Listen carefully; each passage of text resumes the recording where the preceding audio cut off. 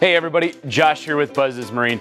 Today we've got a video on the StarCraft Delta 188 DC Pro. This is the serious fisherman's boat. It's got a 96 inch beam. It's 18 foot, 11 inches long. It's got extra tackle storage, extra rod storage, and we rig it with the powerful 175 Yamaha VMAX SHO. So you got plenty of power to get out to your fishing spot, beat everybody else in the tournament, and get back to the dock for weigh-in. So come on, let's check out the boat. Okay, so here we are in the bow of the Delta, and what I like about this boat is it's got a lot of space up front. So you've got enough space up here for two fishermen. You also have deep storage up front with a lip and back uh, foam on the lid here, so it keeps your compartments dry. You've also got a day box here and a live well on the other side. So got a bow live well.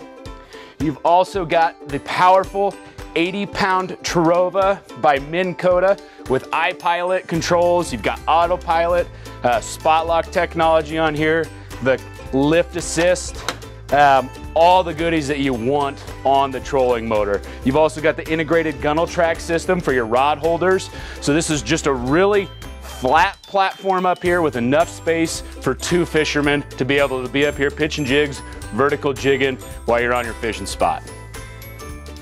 Okay, here at the helm, you can see we've got it set up with the Helix 7 by Minn Kota. We typically equip this with a 7 inch screen.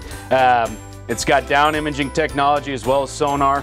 You've got tilt wheel steering, a nice little cubby here to the side, all of your breaker toggle switches here with pop breakers. You've got a Jensen Bluetooth compatible stereo, as well as your chrome bezel gauges. The biggest feature that I really like on this, you've got tackle storage underneath. So you can fit 3700 series tackle trays underneath the console. Underneath the passenger's console, aquatic invasive species are a real and present thing right now. So instead of having an onboard bait box on this boat, since this is a tournament style boat, traveling to different locations around, you wanna have the, uh, the cooler for the, uh, the live bait there. Another great feature on this boat that really sells this is the flat walk through that gives you that extra stability while you're in the bow of the boat. But what that does is that gives you a ton of rod storage space here. You've got battery box center line underneath the deck that helps makes the boat a little bit more stable. And then you've got the rod tubes all the way up in the boat to protect the tips of your rods. This is a really well thought out model. You've also got additional rod storage on the port side of the boat for your bigger, longer casting rods, your trolling rods, or even your musky rods there.